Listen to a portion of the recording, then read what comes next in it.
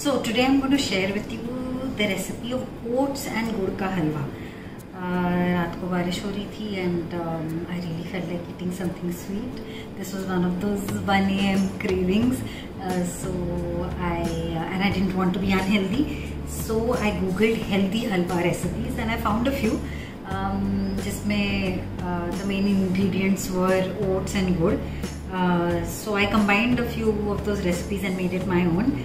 Uh, some very interesting things came up. Who would have thought that pumpkin seeds is a, is a part of oats and gur ka halwa? But uh, it is and it tasted pretty good.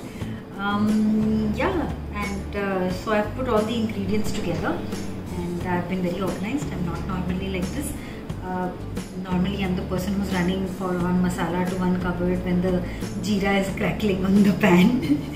So yeah this is new for me. I'm going to use uh, my colorful cups because they make me really happy. Um, I'm going to put one cup of oats, uh, half a cup of pumpkin seeds, uh, a fistful of walnuts, half a cup of almonds, छोटा elaichi very important. And uh, I'm going to put everything in the mixer jar and uh, grind it together. Uh, I also have half a cup of gur uh, all the recipes that I googled said one cup. And the last time I made this I made it with one cup but I felt कि थोड़ा सा ज़्यादा sweet हो this time I'm going to make it even healthier and try it with half a cup but if you feel nervous then please go ahead with one cup because I have no idea how this is going to turn out so I'm going to put everything in this mixer jar and grind it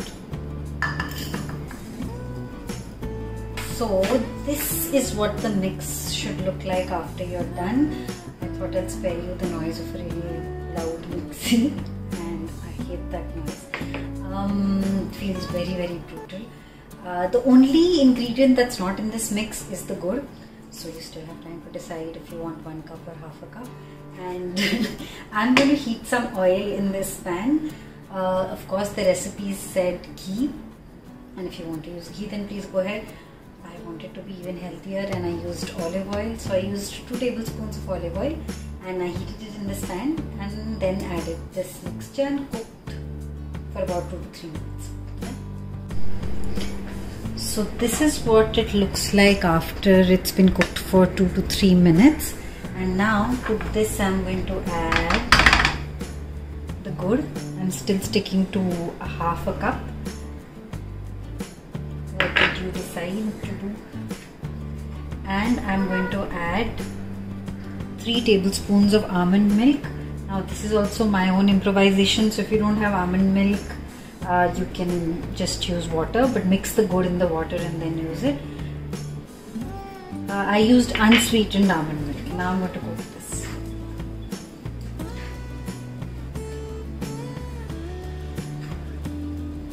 You should cook it till it becomes dry.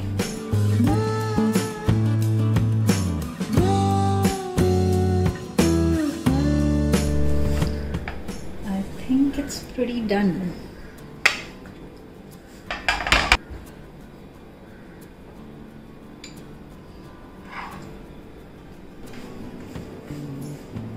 So this halwa is done and I don't normally garnish anything I make because I'm so hungry by the time I finish making it that I'm eating it off the pan.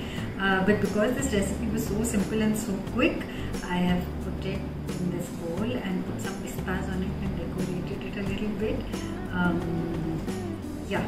Uh, and also, yeah, I did taste it, so half a cup of gur is just fine. I don't think you need to waste your calories on anything more. Uh, thank you guys, thank you for watching this and uh, if you feel like trying it, please do. And thank you Peeping Moon for asking me to do this and share my 1am cra craving uh, with everybody.